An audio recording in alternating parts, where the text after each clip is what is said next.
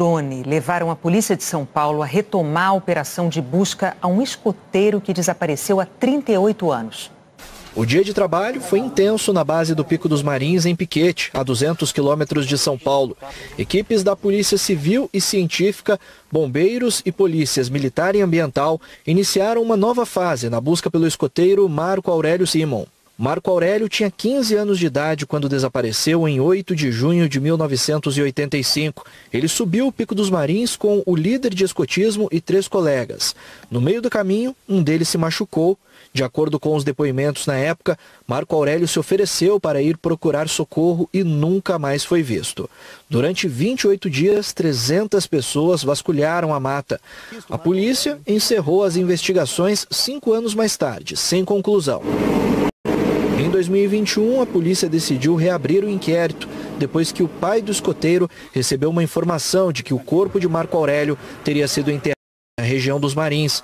Novamente, nenhum vestígio foi localizado. Nesse momento, novas tecnologias foram implementadas, novas tecnologias foram apresentadas, tecnologia nacional. É uma alta tecnologia que foi colocada à nossa disposição e somente é, e somente é possível aplicá-la porque nós estamos exatamente em 2023. Agora, os policiais estão usando inteligência artificial para identificar possíveis covas no meio das montanhas. Um drone levando um georradar, um aparelho que consegue identificar vestígios humanos embaixo da terra, mapeou a área. A gente teve que treinar a inteligência artificial interpretar esses dados do georradar e localizar essa combinação de terra que a cova é terra e ossos. A polícia mapeou cinco áreas na montanha que serão escavadas.